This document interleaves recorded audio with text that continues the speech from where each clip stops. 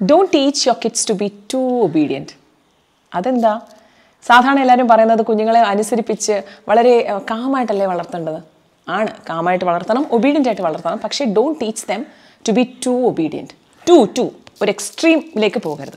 കാര്യം എന്താണെന്ന് വെച്ചാൽ പലപ്പോഴും നമ്മൾ നമ്മുടെ അച്ഛനമ്മമാർ പലപ്പോഴും നമ്മളെ മിസ്ഗൈഡ് ചെയ്തിട്ടുണ്ട്. മിസ്ഗൈഡ് എന്ന് ഞാൻ ഇവിടെ ഉദ്ദേശിക്കുന്നത് ഒരുപാട് ജോയിന്റ് ഫാമിലീസ് ഒരുപാട് മുതിർന്ന ആൾക്കാരൊക്കെ ഉള്ള ഫാമിലിയിൽ വളർന്നുമ്പം നമ്മുടെ അടുത്ത് പറയും അയ്യോ അവിടെ ചെന്നിട്ട് മിണ്ടരുതേ. നീ ഇങ്ങനെ ഇങ്ങനെ ആവണേ. എപ്പോഴും എല്ലാവരും പറയുന്ന തലകുലുക്കി കേൾക്കണേ. ഈ ഒരു രീതിയിൽ നമ്മൾ വരുമ്പോൾ ഓട്ടോമാറ്റിക്കൽ കുട്ടികളെ നമ്മൾ കോൺഫിഡന്റ് ആക്കാണ്ട് ബോൾഡ് ആക്കാണ്ട് മോനെ എന്തൊരു സിറ്റുവേഷൻ വന്നാലും വലിയ ആൾക്കാരാണ്. അവർ പറയുന്നതാണ് എപ്പോഴും ശരി. നീ മിണ്ടാണ്ടിരിക്കണം. അല്ലെങ്കിൽ ശബ്ദം ഉയർത്തി സംസാരിക്കരുത്. ഇങ്ങനെയൊക്കെ നമ്മൾ പഠിപ്പിക്കുമ്പോൾ ഓട്ടോമാറ്റിക്കലി ആ ഒരു ഫിയർ ഫാക്ടർ കുഞ്ഞിന്റെ മൈൻഡിൽ ഉണ്ട്.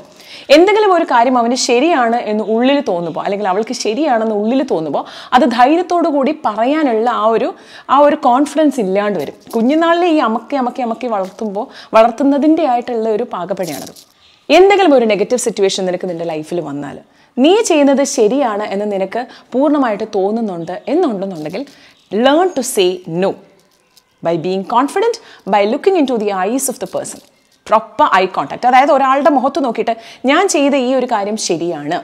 എനിക്കത് ശരിയാണ്. എന്ന് പറയാനായിട്ടുള്ള ഒരു കോൺഫിഡൻസോട് കൂടി വേണം നമ്മൾ നമ്മുടെ കുട്ടികളെ വളർത്താൻ. എനിക്ക് ഇപ്പോഴും ഓർമ്മയുണ്ട്. ഞാൻ കോളേജിലൊക്കെ പോകുന്ന സമയത്ത് എന്റെ അമ്മ ഒരു കാര്യം നിനക്ക് ശരിയല്ല എന്ന് തോന്നുവാണെങ്കിൽ നീ അവരുടെ മുഖത്ത് നോക്കി പ്രതികരിക്കണം എന്നാണ് കുഞ്ഞിലെ എന്നെ പഠിപ്പിച്ചിട്ടുള്ളത് കേട്ടോ. അപ്പം ആ ഒരു ഉള്ളിൽ എനിക്കൊരു ഭയങ്കര ബോൾഡായിട്ട് ഒരു കോൺഫിഡൻസോട് കൂടിയാണ്. ഞാനിപ്പം ഇപ്പം ബസ്സിലൊക്കെ വെച്ച് പണ്ട് ഈ പ്രൈവറ്റ് ബസ്സിലൊക്കെ പോകുന്ന സമയത്ത് കുറേ അനുഭവങ്ങളുണ്ട്.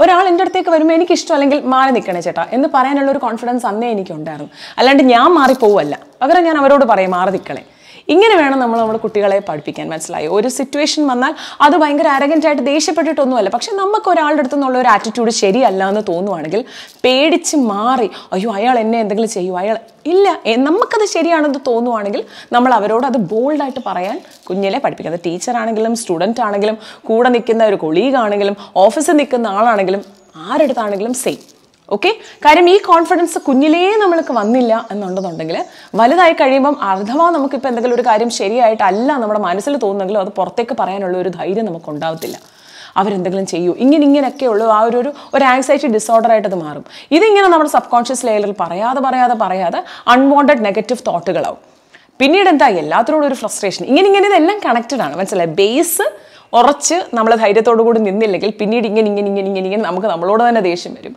അൺവോണ്ടഡ് ആയിട്ടുള്ള തോട്ട്സ് ആവും നെഗറ്റീവ് ആയിട്ടുള്ള കാര്യങ്ങളാവും. പിന്നെ നമ്മുടെ കയ്യിൽ നമ്മളെ പിടിച്ചാൽ കിട്ടൂല. എന്തിനാണ് അതിന് പോകുന്നത്? കുഞ്ഞിലെ നോ പറയാൻ കുഞ്ഞുങ്ങളെ പഠിപ്പിക്കുവാണെങ്കിൽ ഇഷ്ടപ്പെടുന്ന ഒരു കാര്യം അല്ലെങ്കിൽ ഒരാൾ നമ്മുടെ അടുത്തേക്ക് വരുവാണെങ്കിൽ ഇതെനിക്ക് ശരിയല്ല. എന്റെ ശരിയല്ല. ഞാൻ പറയുന്നു ധൈര്യത്തോടു കൂടി. ഇങ്ങനെ വേണം നമ്മൾ പഠിപ്പിക്കാൻ. ഒരു ഫിസിക്കൽ അറ്റാക്ക് വന്നാൽ മെന്റലായിട്ട് ഒരാൾ കുഞ്ഞിനെ ഹേർട്ട് ചെയ്താൽ ബുള്ളി ചെയ്താൽ ഇതിനെയൊക്കെ ഇതിന്റെയൊക്കെ എതിരെ ഇതെനിക്ക് ശരിയല്ല എന്ന് പറയാൻ ആദ്യമേ നമ്മൾ കുഞ്ഞിനെ പഠിപ്പിച്ചാൽ ആ കോൺഫിഡൻസോട് ധൈര്യത്തോടു കൂടിയായിരിക്കും അവന്റെ ആ ഒരു അഡോളസന്റ് ഏജ് പോവുക. Okay take care